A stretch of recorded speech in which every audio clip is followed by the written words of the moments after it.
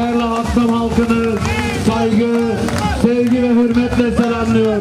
Hoş geldiniz sayın başkanlarım. Vallahi bu güzide topluluğu görünce Zeydan Bey'e dedim ki herhalde bir teşekküre geçsen iyi. Bu iş bitmiş burada. Haberiniz olsun.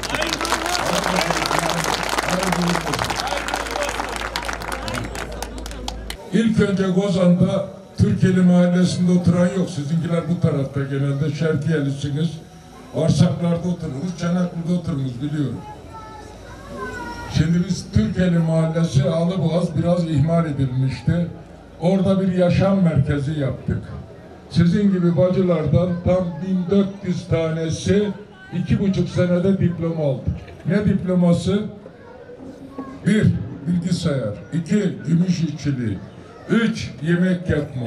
Dört, COSGAP'ten iş alıp iş yeri açma. Beş, bilgisayar kursları. Altı, iş girişimciliği ve buna benzer kolları sayabilirim. Tam 1400 tane bacım oradan mezun oldu. E, hangi yerde kanalizasyon yaptınız? Yok. E, var mı burada konteyner? Çöp sepeti var mı? E, Gozan'a vermediler ki size bir şimdi. Koskocaman Gozan'a vermediler. Hatta utanıyorum söylerken bu atık su çöp bundan biz yüzde beş alırız. Geçen ayın ocağından bu yana onu bile vermediler. 2 milyon 700 bin lira Bozan'ın belediyesinin alacağı var yüzde beşlerden. Gerisini anlatın. Anlatmaya lüzum yok. ASKİ'nin iflas ettiği bir belediye olur mu arkadaş? Buralarda geliyorlar yalan dolan. E ben içinizdeydim. Niye ayrıldım sizden? Niye ayrıldım? Yalandan usandım bunun için. Yalandan usandım. E bunu dökeriniz yolları yapmanız. Ya biz yapak yaptırmanız. Yoğana caddelere bakıyoruz buraya gelirken. Epi beni de kalayladınız değil mi? Sırkıntı Caddesi, Güneri Caddesi. Ulan Allah belanı versin seni kim seçti diye. Dediniz değil mi? Ey, hep günahımı aldınız. Günahım kalmadı ki. Hepsi bunların büyük şeyleri. Ama biz yılmadık, üşenmedik. Felsefemiz belli. Halka hizmet, hakka hizmet dedik. O şiarla büyüdük. Hepsini yavaş yavaş yapıyoruz. Geçmişte bir tane doğru dürüst belediyenin arabası yoktu. İş makinesi yoktu. Şimdi mimar mühendis diye bir arkadaş geziyor ortada. Yallah'tan vur.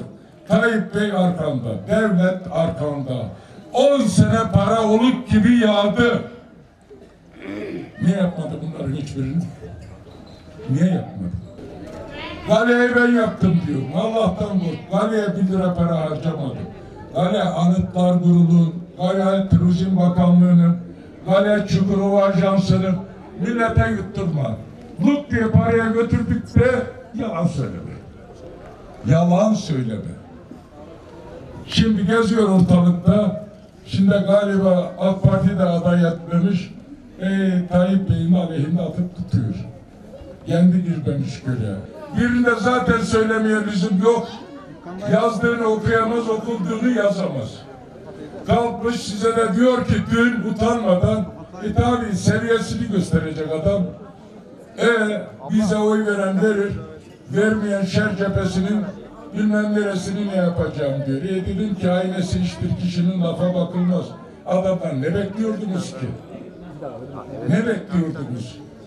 Adam geçmişte ne iş yapmış? Ne iş yapmış? Eget garajları işgal etmiş. Üzerindeki düğün salonu onun, mezbaha onun, git Sayın Bey'in mezbahası onun. Ondan sonra da kira veriyor mu vermiyor mu vebali büyük şehrin meclisinin sözünün üzerine oraları almış gasp etmiş adam. Ondan sonra da belediye başkan adayım diyor. Onun da herhalde defterini dürersiniz. Benim söylememe lüzum yok. Öbür GBT'sini de açmıyor. Açmıyorum neler yaptığını. Onu kendi çok iyi bilir. Şimdi niye aday olduğumu anladınız mı? Bozan'ı bunlara bırakmamak için aday oldu. Ona göre de hareket dedim. öyle bir ülkemiz var ki, öyle insan tipimiz var ki gurur duymamak mümkün değil. Hepinizle gurur duyuyoruz. Gerçekten iftihar ediyoruz. Ve önünüzde saygıyla eğiliyoruz. O kadar mütevazi taleplerle siz mutlu ve memnun oluyorsunuz ki esasında bu halkı memnun etmek çok kolay. Yani bir çinkör, bir taziye evi insanları memnun ediyorsa bunlar çok kolay işler. Bunu da yapmamak hangi akla hizmet onu da çok bilmiyorum. Yani ben onu bilmiyorum. Benim aklım hafızam almıyor. Demek ki demek ki daha önce büyük şehirde görev verdiğiniz insanlar sizin taleplerinizi, beklentilerinizi, mütevazi taleplerinizi ve esas görevlerini layıkıyla yapmamışlar. Evet, yapmamışlar ve bir Büyükşehir Belediye Başkanı adayı çıkmış. Daha önce söylediklerini yapmış. Duymuşsunuz demek ki neler yaptığını ve ona bir sarılma ihtiyacı hissetmişsiniz. Bu beni çok mutlu ediyor tabii. Aynı zamanda büyük de bir sorumluluk yüklüyor. Hiç merak etmeyin. Bu sorumluluğun bilincindeyim. Bunun altından kalkarım. Seyhan'da olduğu gibi kalktım ve hep şunu söylemişimdir. Buna çalışmışımdır ben.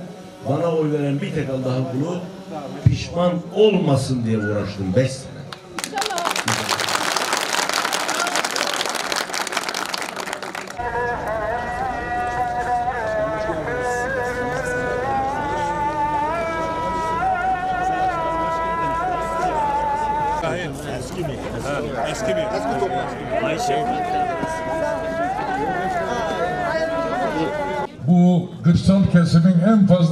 Okumuş yazmış köyü burası.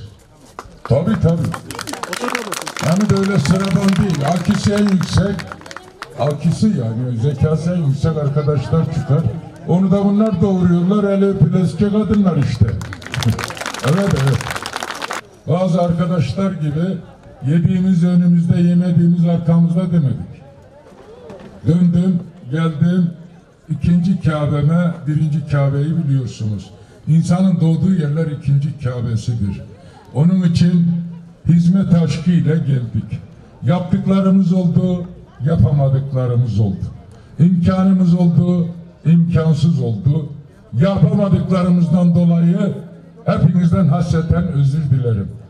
Yaptıklarımızdan dolayı da teşekkür beklemiyorum çünkü vazifemizdi. Kozan eskiden sular içerisindeydi biliyorsunuz. Sizinkilerin genelde oturduğu yerler Şevkiye'dir.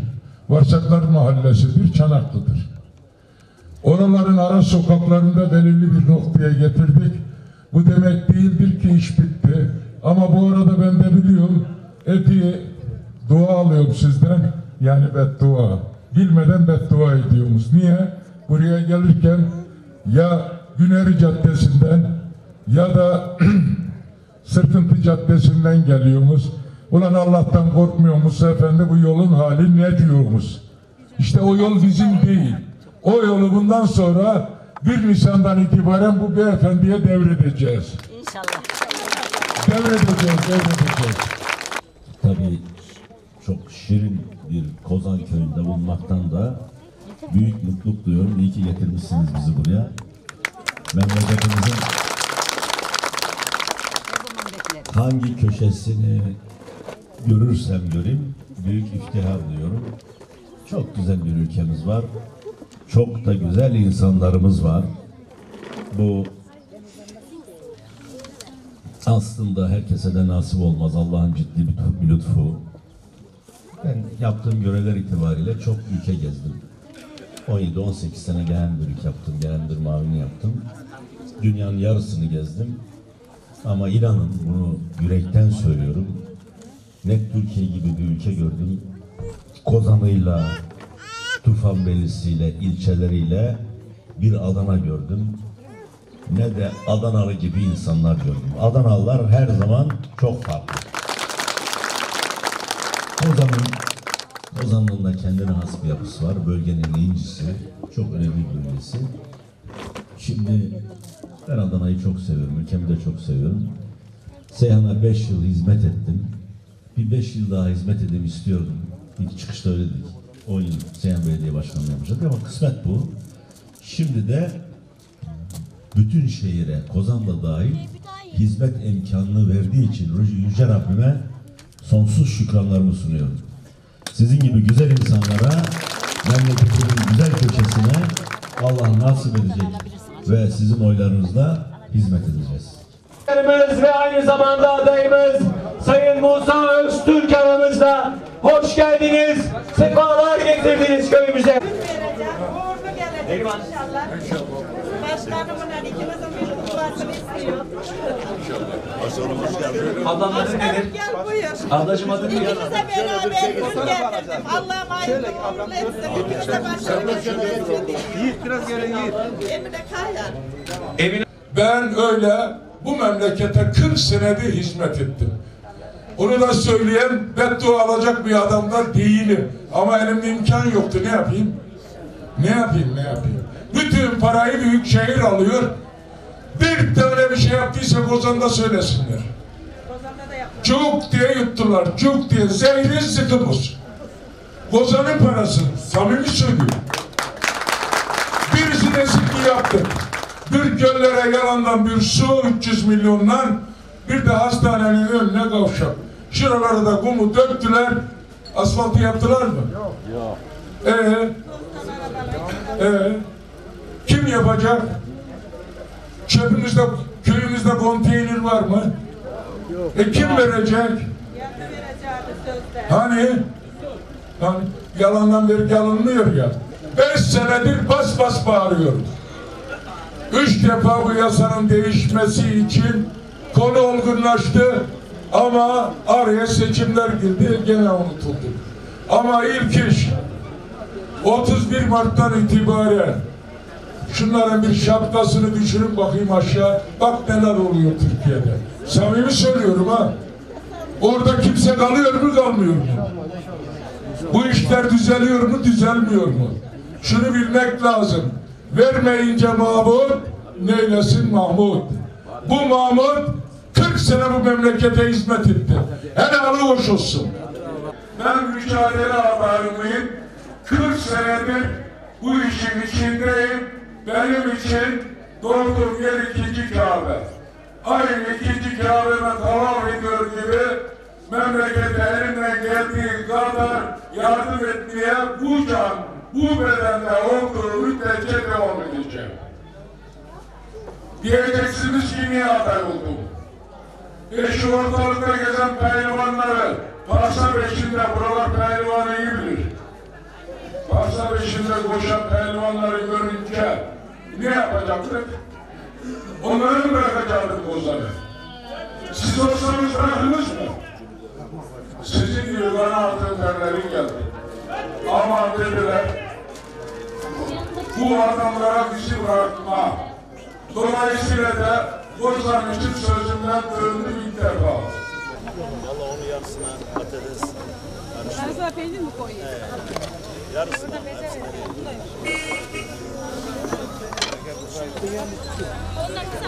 Ablalarım ellerinize kollarınıza sağlık. Teşekkür ediyoruz bu güzel ikramdan dolayı. Buraya ben ta eskiden beri abimden bu yana rahmetli Hacı Kerimoğlu'ndan dolayı hep köyümüz olarak baktık. Onlara da hep sıcak baktık. Hala mahkumlarıyla, oğullarıyla görüşürüm. Ablayla görüşürüm hanımıyla. Dolayısıyla o sıcaklık 20-25 senedir var. Onu hala tenimde hissediyorum. Dolayısıyla buranın ne işi varsa e biz buranın avukatıyız da, vasisi de, velisi, belediye başkanıyız. O konuda hiç endişeniz olmasın. Sıkıntılarınızı gerek muhtar, gerekse kanaat önderleri anlattı. Ben eskiden beri de biliyorum. İnşallah onu el ele vereceğiz, bir çözüm bulacağız.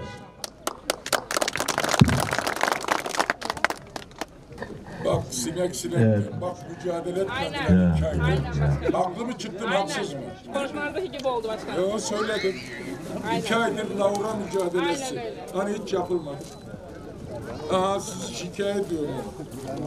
Büyük şehri şikayet. Zeydan başkanımla iyi olacak başkanım. Bu sinekle mücadele işinde biz Büyükşehir Belediye Başkanı'na dedik ki ya sen çok büyük bir alana bakıyorsun, alanı kontrol edemezsin. Bunları ilçenin kontrolüne ver, bütçesinde ver. Ben bütçede istemedim. Vermediler. İstemedim. Vallahi. Dolayısıyla sinek her tarafta sıkıntı. Her tarafta sıkıntı. Lavra dönemi bu. Şimdi ilaçlanması lazım.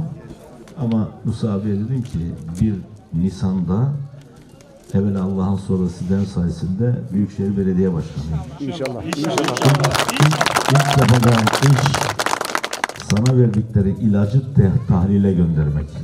Su mu gönderiyorlar, mazot mu gönderiyorlar? yani tahlile göndereceğiz. Çünkü gerçek manada ilaç sıkılsa bu sinek bu kadar olmaz. İşte diyor ki bak yöneticilik de bu zaten. Yani koltuğunda oturup ona buna talimat vermek, ahkam kesmek değil yöneticilik. Yöneticilik baştan aşağı işi takip etmektir. Verdiğin bir şey söyledin. Yaptı mı yapmadı mı? Nasıl yaptı? Doğru mu yaptı, eğri mi yaptı? Mesela ben onu yapıyorum. Ben asfalt dökerken beni görürsünüz asfaltın başında. Asfalt makinesinin başında da görürsünüz. Çünkü bizim kullandığımız bütçe sizin bütçeniz, sizin paralarınız. O parayı en iyi şekilde kullanmak zorundayız. Bir, israf etmemeliyiz. İki, kötü bir şekilde kullanmamalıyız. Üç, hiç kimseye de peşkeş çekmemeliyiz.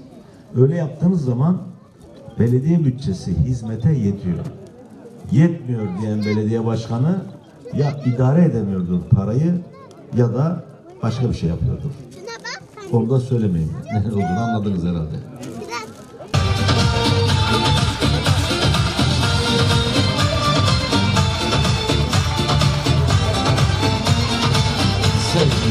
Ah. Ses kontrol. Ses. Biraz daha açabilecek misin abi?